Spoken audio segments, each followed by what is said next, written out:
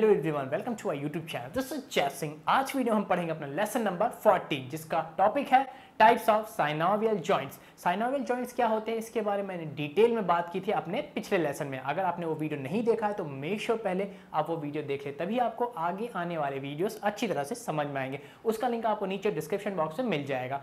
अब आते हैं हम अपने टॉपिक पे। वैसे तो साइनोवियल जॉइंट सात तरह के होते हैं, लेकिन कुछ बुक्स में खासतौर से जो पुरानी बुक्स है, वहाँ आपको जो साइनोवियल जॉइंट्स का क्लासिफिकेशन मिलेगा, उसमें वो छह तरह के साइनोवियल जॉइंट्स बताते हैं। ऐसा डिफरेंस क्यों है, उसका भी मैं कंप्लीटली एक्सप्लेन करूँगा अपने इस वीडियो में।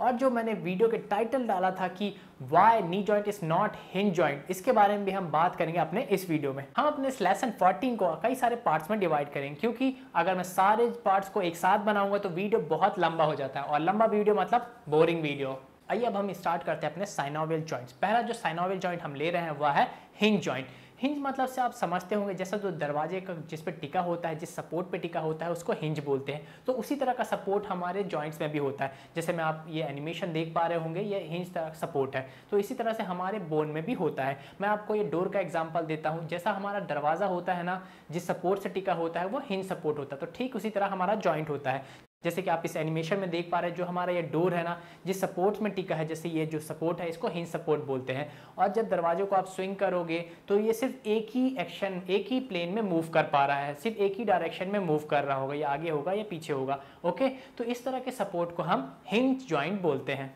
जो हिंज जॉइंट होते हैं, इनकी यह खासियत होती है, यह सिर्फ़ दो ही तरह के एक्शंस परफॉर्म कर सकते हैं। या तो ये फ्लेक्शन परफॉर्म करेंगे, या तो यह एक्सटेंशन परफॉर्म करेंगे।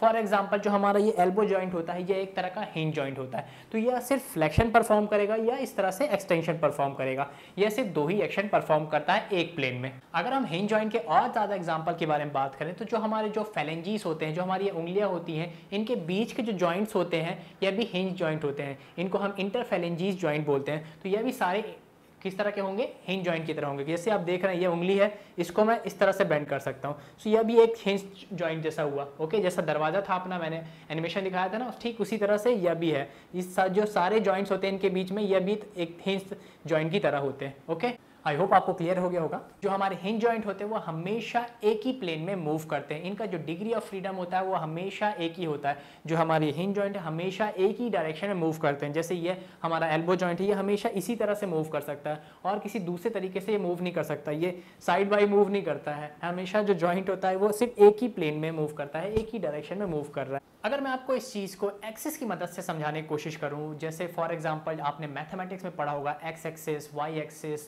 Z axis जो किसी ऑब्जेक्ट के डायमेंशंस को बताते हैं फॉर एग्जांपल जो कोई ऑब्जेक्ट है वो वन डायमेंशनल है टू डायमेंशनल है थ्री डायमेंशनल है तो इस तरह से हम स्टडी इसको भी कर सकते हैं हिंज जॉइंट है। तो जो हमारा हिंज जॉइंट है, वो किस तरह का एक्सिस हुआ, वो किस तरह के एक्सिस में मूव कर सकता है, किस तरह का डायमेंशन हुआ इसका one dimensional only X axis में ही मूव कर सकता है हमारा हिंज जॉइंट ये क्योंकि इसका जो डिग्री ऑफ़ फ्रीडम है वह सिर्फ़ एक है. वन है. Hinge joint is uniaxial joint यह सिर्फ़ एक ही एक्सिस में मूव कर सकता है। हिंज जॉइंट को सपोर्ट करने के लिए, इसको स्ट्रॉन्ग बनाने के लिए, इसको स्टेबलाइज करने के लिए हमारे बॉडी में कोलेट्रल लिगामेंट्स होते हैं, जो जॉइंट सरफेस जो आर्टिकुलेशन सरफेस में प्रेजेंट होते हैं, जो हमारे एक बोन को दूसरे बोन से कनेक्ट करते हैं, ताकि जो हमारा जॉइंट है, वो ज़्यादा अच्छे से स्टेबलाइज हो सके और हमेशा स्ट्रांग रह सके। अब बात करते हैं हम अपने सेकेंड जॉइंट की, जो है कंपाउंड जॉइंट कंपाउंड जॉइंट के बारे में बात करने से पहले हम आपसे एक क्वेश्चन पूछना चाहूँगा। कि जो हमारा नी जॉइंट होता है, जो हमारे घुटने का जॉइंट होता है, वो किस तरह का जॉइंट हुआ? हिंज जॉइंट हुआ या कुछ और? सोचिए। नहीं सोच पाए? क्या आंसर आया? डोंट वरी मैं बताता हूँ आपको। जो हमारा नी जॉइंट होता है, इसको हम हिंज जॉइंट नहीं बोलते हैं, इसको हम कंपाउंड जॉइंट बोलते हैं। ऐसा इसलिए होता है क्योंकि जैसे कि मैंने आपको पहले बताया, जो हिंज जॉइंट होता है, इसमें सिर्फ़ दो ही तरह के एक्शन परफॉर्म होते हैं। या तो फ्लेक्शन होगा या एक्सटेंशन होगा। लेकिन जो कंपाउंड जॉइंट होता है, यहाँ पे तीन एक्शन परफॉर्म हो रहे हैं। यहाँ पे फ्लेक्शन एक्सटेंशन तो होता ही है, लेकिन साथ में साथ स्लाइड डिग्री ऑफ़ रोटेशन भी होता है, जो हमारा नी होता है। एक्चुअल में इसका जो फंक्शनिंग है, ये ऐसी है कि यहाँ फ्लेक्शन और एक्सटेंशन तो होगा, लेकिन यहाँ पे स्लाइड डिग्री ऑफ़ रोटेशन भी होता है। ये साइड बाई साइड थोड़ा सा मूव कर सकता है। ज़्यादा नहीं मूव कर सकता, थोड़ा सा ही मूव कर सकता है। इसलिए हमेशा नी ज्वाइंट को कंपाउंड ज्वाइंट के कैटेगरी में रखा जाता है। आप इस चीज़ को महसूस कर सकते हैं तब जब आप कोई एक्सटर्नल हिप रोटेशन वाला एक्शन परफॉर्म कर रहे हैं। फॉर एग्जांपल जब आप पालथी मार के बैठते हैं खाना खाने के लिए या आराम से बैठते हैं नीचे पालथी मार के, जैसे कि आप इस इमेज में भी देख पा रहे होंगे, पीछे बैकग्राउंड में मैं मरीन ड्राइव में बैठा हुआ हूँ योगा कर रहा हूँ। आराम से मेडिटेशन कर रहा हूँ।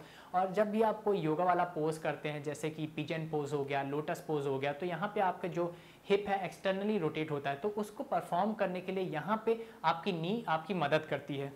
अगर हमारे नी जॉइंट पे जो थोड़ा सा रोटेशन होता है, जो एक स्लाइड डिग्री ऑफ़ रोटेशन होता है, अगर वो ना हो तो पता है क्या होगा?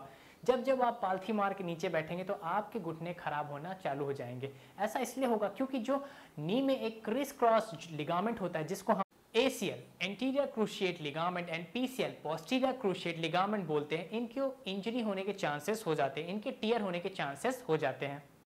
और मैं आपको एक बात बता दूँ, अगर आपका कभी लिगामेंट टीयर हुआ या लिगामेंट में कभी इंजरी हुई तो इसको ठीक होने में बहुत टाइम लगता है, क्योंकि यहाँ पे ब्लड कैपलरीज नहीं होती और जहाँ भी ब्लड कैपलरीज नहीं होंगी, वहाँ तक ब्लड नहीं पहुँचेगा। ब्लड नहीं पहुँचेगा मतलब न्यूट्रिशन नहीं पहुँचेगा। जब न्यूट्रिशन नहीं पहुँचेगा तो उसकी हीलिंग नहीं होगा, वो जल्दी ठीक नहीं होगा। अगर आपको यह लिगामेंट जल्दी ठीक करना भी होता है तो सिर्फ़ सर्जरी ही ऑप्शन रहता है। जैसे जो फुटबॉल प्लेयर्स होते हैं, उनका लिगामेंट टीयर होता रहता है तो उनको सर्जरी ही करवानी पड़ती है, क्योंकि यह जल्दी से रिकवर नहीं होता है।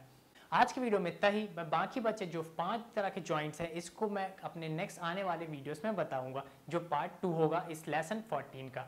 आई होप आपको जानकारी अच्छी लग रही होंगी। अगर जानकारी अच्छी लगी तो वीडियो पर लाइक कमेंट ज़रूर करें। आपके लाइक कमेंट मुझे हौसला देते हैं कि इस तरह की इन्फॉर्मेशन मैं हमेशा आप तक पहुंचाता रहूँ। और अगर आप मेरे चैनल पर पहली बार आए हैं तो मेक श्योर मेरे चैनल को सब्सक्राइब कर लें हिट द बेल आइकन ताकि इसी तरह की इन्फॉर्मेटिव इन्फॉर्मेशन आपको हमेशा मिलती रहे। Thanks for watching stay healthy stay fit bye Jai Hind